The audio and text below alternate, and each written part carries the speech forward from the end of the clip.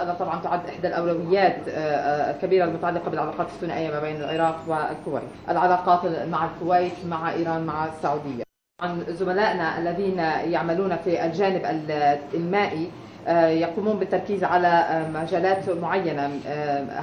هي بالتحديد إدارة المياه إدارة المياه العابرة للقارات وتطوير الأهوار المحافظ وأنا لدينا اهتمام مشترك تناقشنا بخصوصه بشكل مسهب هذا الأمر يتعلق بالشباب والتعليم، لأن التعليم الشباب مسألة تم إهمالها في السابق وخاصة إذا ما رأينا أنه 50% من تعداد سكانكم هو تحت سن ال 19 عام، وهذه المسألة أعتقد أنها يجب أن تكون ضمن جدول الأعمال السياسي وأنا سالح وأركز عليها بأن شباب هذا البلاد يجب أن يتم رعايته، يجب أن يحصل على تعليم جيد، يجب أن يتم تحسين مستقبله. وهذه أول زيارة لمبعوث الأمم المتحدة إلى البصرة.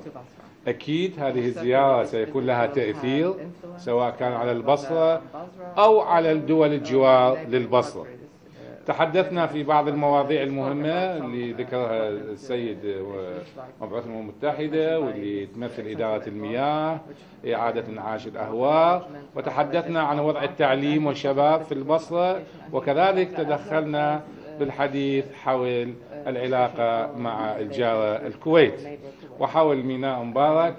وذكر لي السيد مارتن كوبر بأنه بعد العيد إن شاء الله سيزور الكويت ويتحدث مع الأخوة الكويتيين حول أحكام الفصل السابع وحول ميناء مبارك وكيف نقوي العلاقة الاقتصادية بين العراق وبين الكويت حتى تكون هناك مصالح مشتركة للعراق وللكويت للعراق وإيران للعراق والسعودية للعراق وتركيا.